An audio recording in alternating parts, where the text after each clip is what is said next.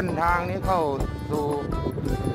ประตูน้ำประตูระบายน้ำห้วยบางทรายนะครับ เสียงอาจจะอูอีก็ขออภัยด้วย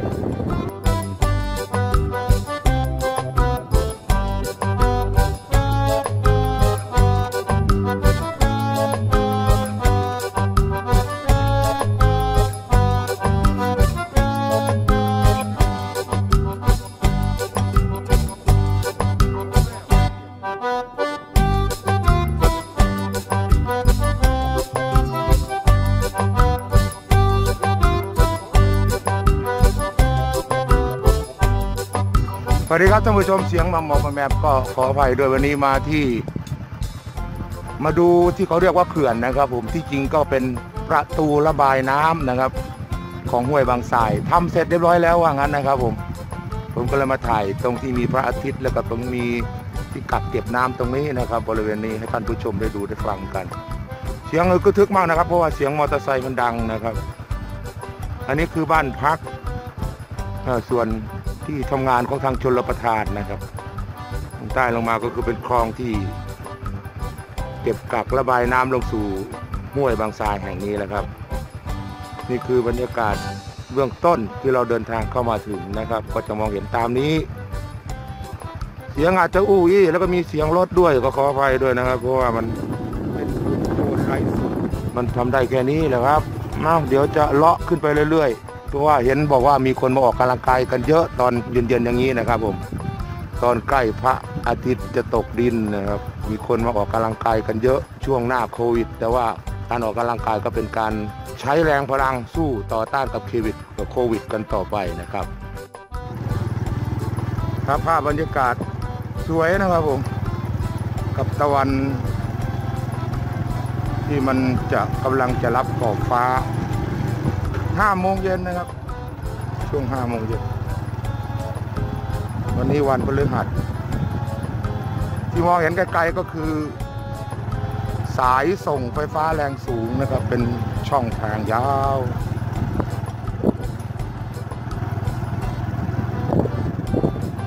เห็นว่าทำเสร็จแล้วก็เลยเข้ามาดูอีกรอบก็เคยเข้ามาดูครั้งหนึ่งแล้วครับ ช่วงที่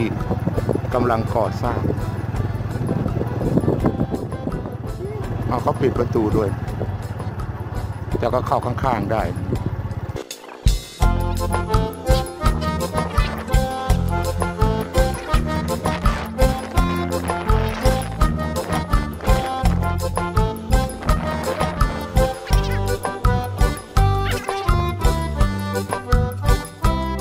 เป็นประตูน้ำประตูระบายน้ำห้วยบางทรายของกระทรวงเกษตรและสหกรณ์ของกรมชลประทานสำนักงานชลประทานที่ 7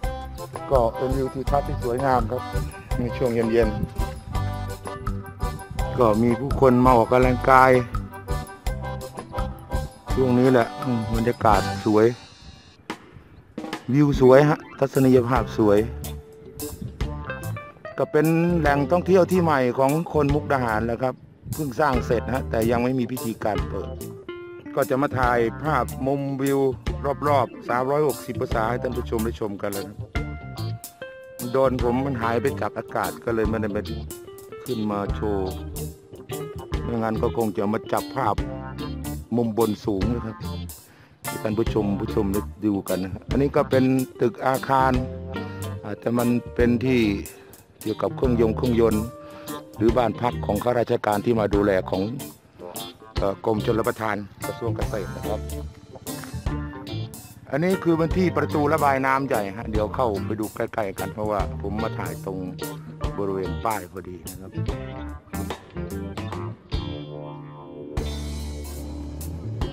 ก็พยายามจะมาถ่ายดูรอบๆนะครับ ผมของประตูระบายน้ำห้วยบางทรายที่เพิ่งทำเสร็จใหม่ๆนะครับ ก็มีผู้คน มาชมมาดูกันเยอะนะครับ ช่วงเย็นๆมาออกกำลังกายกันมั่ง มาชมทัศนียภาพกัน ช่วงนี้ก่อสร้างเสร็จเรียบร้อยแล้วครับ ก็ยังเหลือพิธีการเปิดมั้งอันนี้คือตรงประตูระบายน้ำนะครับ ก็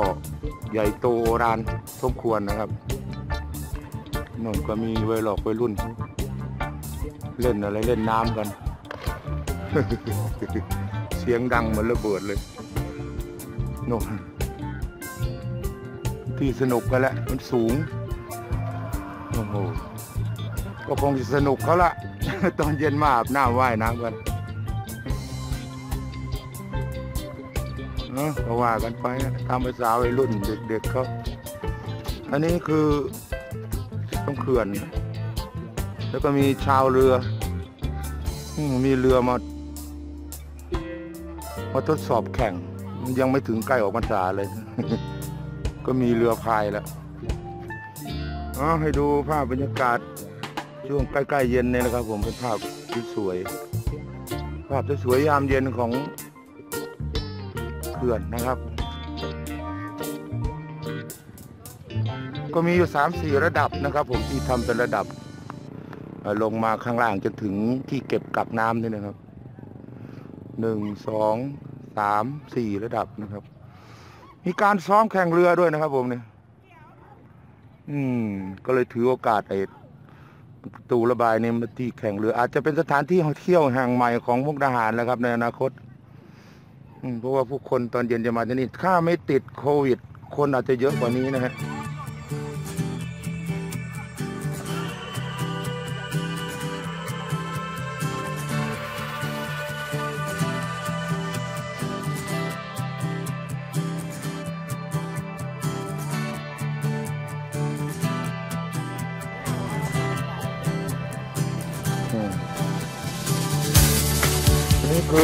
ประตูระบายน้ำห้วยบางทราย ผมมาตอนประมาณห้าโมงกว่าๆนี่เป็นที่ขับเก็บระบายน้ำนะครับเป็นประตูนะหนึ่งสองสามสี่ห้าหกเจ็ดแปดเก้าสิบสิบช่องประตูระบายน้ำครับ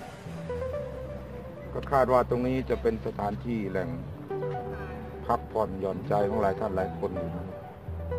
ของเมืองมุกดาหารแห่งใหม่ครับ ก็เลยวัดลิง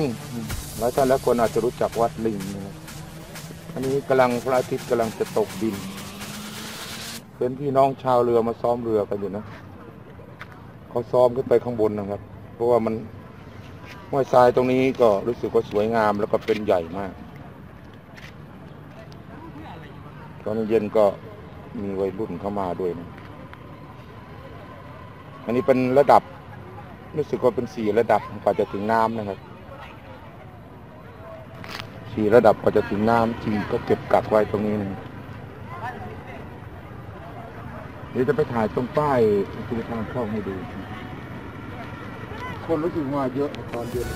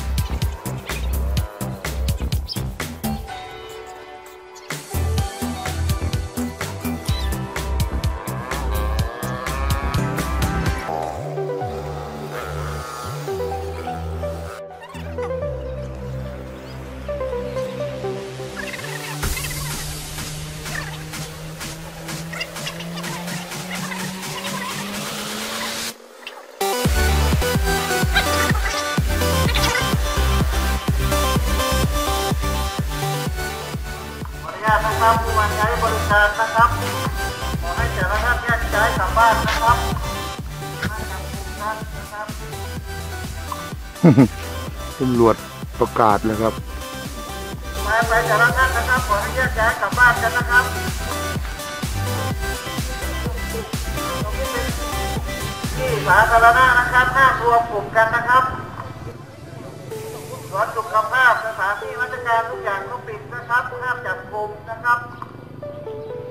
อัน นี้มันเจ้าหน้าที่คนมาประกาศนะครับ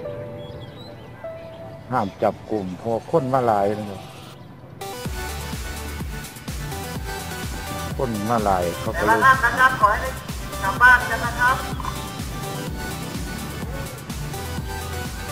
เอาครับครับนี่คือตำรวจท่องเที่ยวมาแจ้ง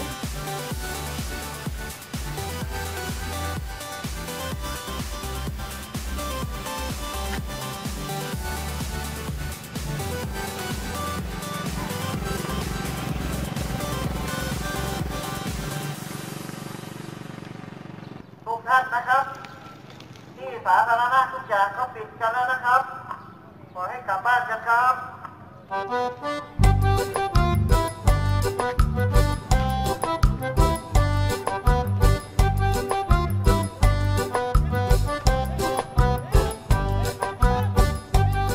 ตำรวจท่องเที่ยวเขาในกรับครับ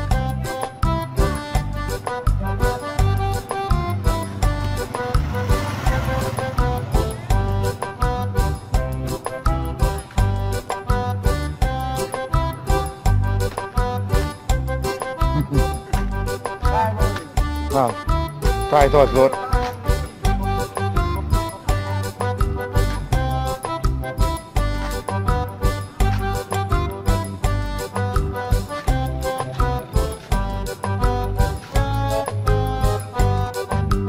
เด็กๆก็ยังไม่อยากจะกลับกัน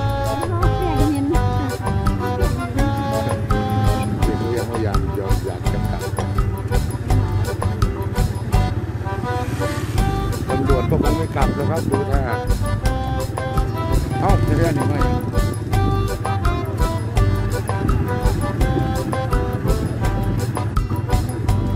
กลับบ้านก่อนแล้วครับ ผมแค่นี้แหละครับ